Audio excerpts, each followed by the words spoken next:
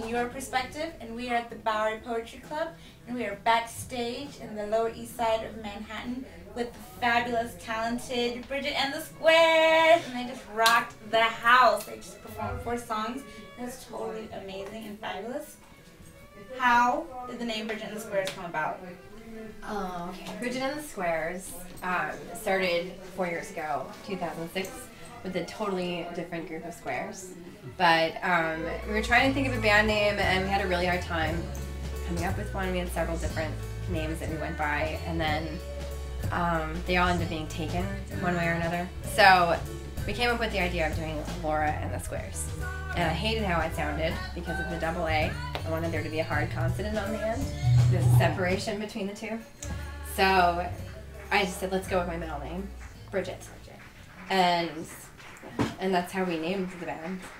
So how has it been starting a band? Like, what is that process like? Like, how was this band even birthed? Um, I mean, I was a singer songwriter in college, and I mean, I've been writing songs since I was like 16, and started. I went to Berklee College of Music, and played out as a singer songwriter a lot there, and then I realized there's something missing. Like, I really wanted a band. I didn't want to be a singer songwriter. Didn't want to be another, you know, Melissa Ferrick or Melissa Etheridge or something. Yeah, I wanted to have like Yeah. a band and a So, rock band. Kyle and Aram, how did you guys come into the mix? Um, well, Laura and I met Laura Bridget and I met at a uh, kind of a uh, little industry event. You know, a couple of bands hanging out and everything, and we just, you know, hit it off right at the outset. And so we, she said, "Well, I need a bass player," and I said, "Well, I need a band." And we started playing some gigs. It worked out pretty well. Yeah, how that works out. Yeah. And you, Kyle? Uh, Laura saw me play here actually at an open mic and said I want to work with that guy. And then we started hanging out, and I said I play drums, and she goes I need a drummer, and so here we are. Love it, love it. So for those of you who don't know, um, a lot of this show is about people in their 20s who have a passion and a drive for whether it's music, um, acting, singing, dancing, whatever, and they're going for their passion with all their heart in the midst of trials, the economy, rent, all that good stuff. Um, with that said, I read online that you sold everything for the most part to move out here to Brooklyn I did. to pursue this. What was that experience like? It was awesome. Honestly, it was awesome. It was invigorating because I, you know, I lived in Boston my whole life, and then all of a sudden just decided to leave for various reasons.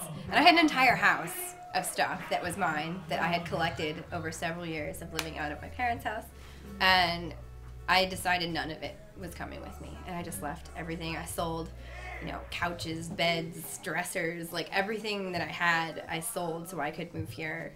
And I came here with literally just a van's worth of stuff. I feel like um, for myself, fear plays a lot um, in how these experiences take place. I feel like fear can either make us or break us. You know, it can be the catalyst that pushes us, or it's the thing that we're like, oh, it stops us. As a group, how has fear affected you, and individually, like how have you all kind of conquered your fear? Because that's nerve wracking up there. I don't know about you, but I was like, oh my gosh. Um, I guess for me, you know, I started do. I've been doing this for so long, but I always felt like, you know, there was something holding me back that wouldn't didn't let me really pursue it to the, you know, lengths that you have to to really do anything in music. I always felt like if I really tried and I failed, it would be way more devastating than if I just kind of happened. When you say something holding you back, what? Well, I, I was afraid. I was afraid to really do what I wanted to do because I knew how much work it was going to take, and I was terrified of doing all that work and then still failing. so what was the moment that you decided the work is worth it? I guess, you know, it was 2009, and my band had broken up, and I had nothing really going. I, and I had broken up with uh my boyfriend. I was with for four years, and The pretty much. the song that. Um, No, actually, none of those songs are about totally different guy. totally different guy. But no, this. I mean, I broke up with my boyfriend, who we're still really good friends, but it just, you know, it we were enabling each other to to both be afraid and both stay Mhm. comfortable and stay safe. And I think once I made that decision to break off that comfort zone and to step outside of my comfort zone, it's when I decided to just leave and actually make take a chance. You know. Kyle, Aaron, how's fear affected you individually within the group? Uh, I don't know. I've never been freaked out playing drums. It's very easy for me to just be back there. When? How long have you been playing drums? Like 10, 11 years. Since I was pretty young. Since you were a young tyke. Yeah, little boy. What would you say to someone in their 20s who may not have been playing since they were 10 or has a totally different experience? They're in New York or they're wherever they are in the world. They have this desire and this drive to go for it and do it, but they just don't You gotta. know how. You got nothing to lose. Yeah. Just mm-hmm. get up there and do it. Put yourself out there. If it's a subway, if it's a street corner, whatever it is, just go sing. That's. Remember I think first- we've all done that. The first time I played at an open mic, I was literally shaking.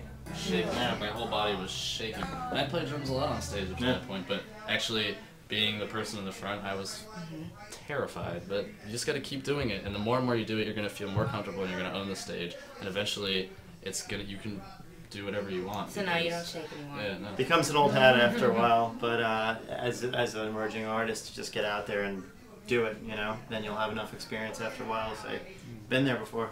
I mean, the very first Bridget and Squares performance as a band, I was so terrified. I was trying to convince the bass player to allow me to face the piano towards the drums, and he was like, "No, you can't do that." He's like, "You're the front person. You need to do this. Like, this is you, you know." And I and I did. I did it, and it was fine. And like, and he's right. Like every time you do it, it gets easier and easier and easier.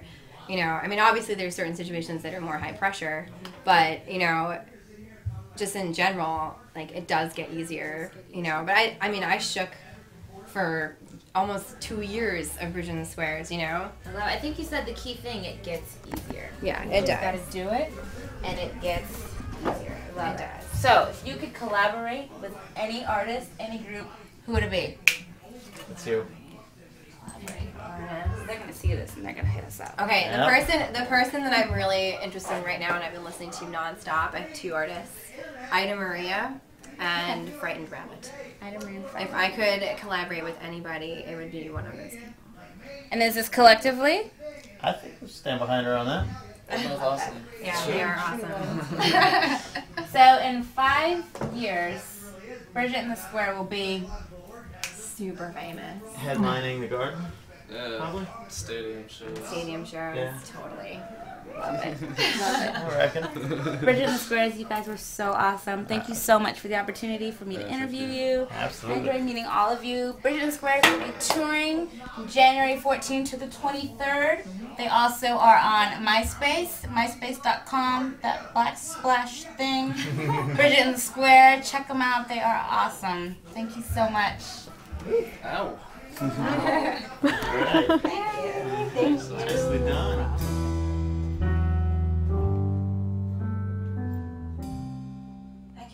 We're Bridget the Squares. We have CDs for sale, and we're going on tour in January. Please follow us on Twitter and Facebook and MySpace and all those lovely things. Thank you so much. Yeah!